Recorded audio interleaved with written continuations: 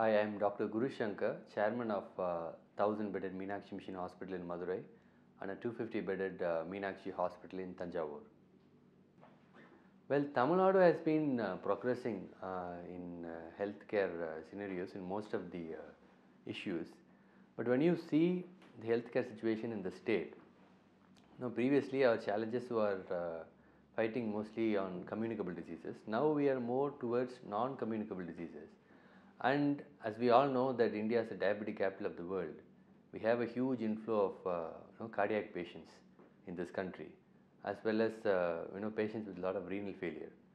And these cases and these uh, influx of, in, uh, of uh, patients need to be addressed in rural areas. In Tamil Nadu, though big cities have good hospitals and tertiary care centers, there are still lot has to be done when we focus on smaller towns like Tirunelveli or Salem or even Thanjavur or Trichy.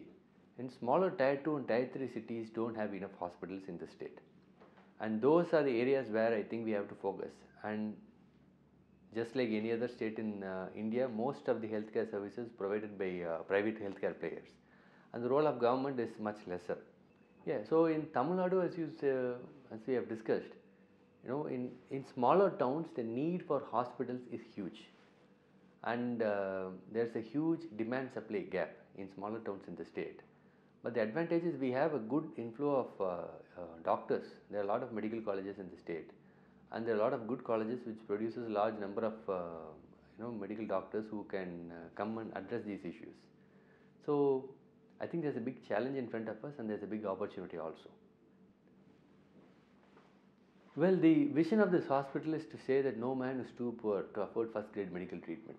We have been having this vision in our mind and we have been traveling for the last 30 years. And you know, personally, I feel that in India and in Tamil Nadu, the healthcare services which goes for a rich person and a poor person is different. And the healthcare services which is available for someone living in a rural area and an urban area is different. So, to bridge this gap as much as possible, we have been striving for the last 30 years. So, in our hospital, whether a person is affordable or not affordable, we are able to treat them. And there's a lot of uh, cross subsidy which we do, where an affordable patient's treatment, the surplus which we make, will cater to the people who are not affordable. And in that way, we are able to balance this uh, work in this hospital. And we are the largest private hospital in Madurai and similarly we are the largest private hospital in Thanjavur where we have more than 45 departments addressing to uh, you know different uh, specialties surgical and medical specialties. And we have always been pioneer bringing uh, new technologies to this region new specialties to this region and we have always been a fore, forerunner in it. Meenakshi Mission the core strength for us is we have brought new equipments and new innovation each time we come into with the, those technologies come into the market. And all our consultants are full-time consultants. So we don't have a practice where consultants visit the hospital and then go out and has his own private practice. Because our model is simple. If a doctor wants to start his own hospital and have his own practice the freedom which he gets in a, in a center like that is what we give it to the give to our doctors. So that incentivizes them. And we create a great working environment for the doctors as well as other staffs in the hospital. So the culture of this hospital itself is a big strength for us. We have a huge telemedicine department and we have an uh, IT department also. And in telemedicine, we are able to provide you know, rural healthcare service to more than 15 centers around uh, Madurai, around the main hospital. And uh, the OP consultations is done through the main hospital. We also have a van which has direct connectivity to the satellite, which can be taken to any in any place in India for that matter. And through the van, we are able to do telemedicine services. And the main hospital, the doctor from here can uh, examine the patient through this system. The hospital has two sides. One is like any private hospital, we charge patients and we treat them. There's another side which is fully charitable. So there are few specialties within the hospital where whether a person is able to pay or not, we will treat the patient free of cost. So one of it is the cleft lip and cleft palate where we have done more than 10,000 uh, surgeries absolutely free of cost for the patient. and uh, it's through the Smile Train program that has been done. Similarly, we have uh, we are the only hospital in this region which has a pediatric oncology unit where kids with cancer are treated absolutely at free of cost and uh, 80% of kids with cancer can be saved if proper treatment is given to them and those facilities are avail- available at this hospital. Similarly, we are the only hospital with a hospice center here. So, these are the areas where we do free treatment for unaffordable people. But there are also other areas where we charge people and we uh, you know, make surplus money out of it, which cross subsidizes us for doing this work. Well, the common concept is when affordability is addressed and when the cost is reduced, quality is compromised. But it is not so. In most of the cases, I think we can have a balance between these two and make sure that we can have good treatment given to the patient at a cost which can be affordable by him. Because if a cost is not affordable by the patient, no matter how great the treatment is, it's not going to work because no one is going to pay for it. So we have had that balance so far and we have different ways in which we cut cost in our expenditures and that is passed on to the patient. We treat a large number of patients so that is also an advantage for the hospital because that gives us the flexibility in ne- negotiating most of our products where we have a huge consumption and because of that we are able to reduce the price. So we launched a campaign called Aram Seidu Palagu. In English it means do good and make it as a habit. So that's the nearest uh, you know translation which we can uh, uh, tell. So what the reason why we did it is because see right now the the trust between the society between the uh, public and the hospitals and doctors has been deteriorating. Most people think doctors and hospitals are money making uh, institutions. This has to be changed because most hospitals in India are not like that. We actually run a social business where we help people, we save people's life, and of course, we make money out of it.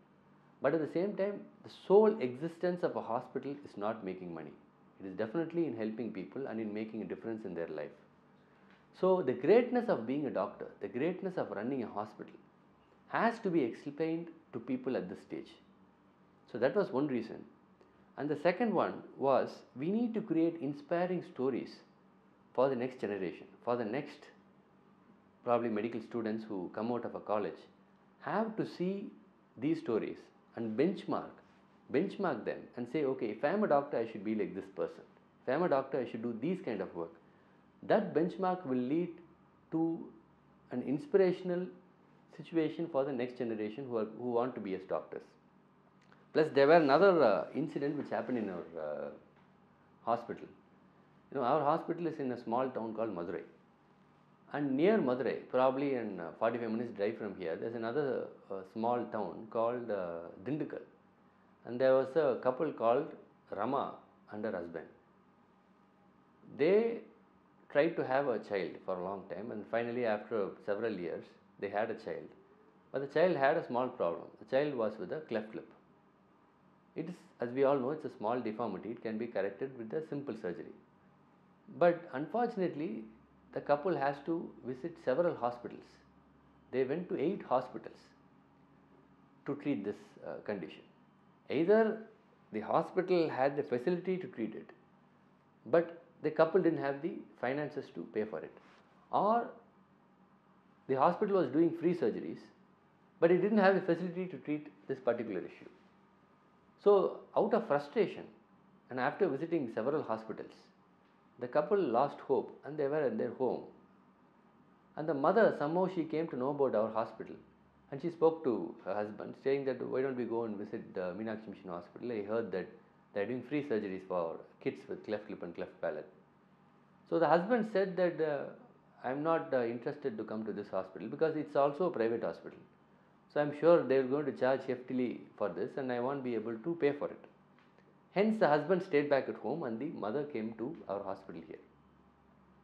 The mother came here and the uh, kid was taken to the operation theatre. The surgery was successful. The doctor took the kid and gave back to the patient. Patient's mother. When the mother got the child, she was still crying. She was not happy with the receiving her child. And the doctor was confused. Like we were like, what happened? Your your child is okay. He's fine now. Now why are you upset? Now the dad, her husband, has written down a note in his home stating that I am unable to treat my own child and I am unfit to help my own child from this problem. What's the point of me living? And he has written a suicide note and he killed himself. Now the mother was upset because though the child is saved, the child has um, uh, received a good treatment. The father of the child is no more. Now this was a shocking incident for us because this couple who are living just one hour from Madurai, they were not aware of the free surgeries which we do in our hospital. So that's when we decided it's not enough if we do good work, we should tell people that we do good work. Because people only then will know that being a doctor and running a hospital is actually a social business and it actually helps the society. And people who are in need of it can avail it. So, for these three reasons one, people who are in need of charitable work, they have to come to our hospital and they have to know that these facilities are free for them. Second, the upcoming medical students should have an inspirational stories about the medical fraternity so that they get inspired and they work and they aspire to be doctors with great values. And third one is for the society in general to understand that being a doctor or running a hospital is not just for money, it is a social business where we where we do what the government has to do and most of the government's work is taken by the private players and we do that work in helping the society and in making these reforms. So just for these um, uh, three main reasons, we, we took five short films which were real life stories about people. About we took five patient stories and we made short films with it and that's being uh, spread uh, in YouTube and in Facebook as well as in uh, movie theaters we are playing it around.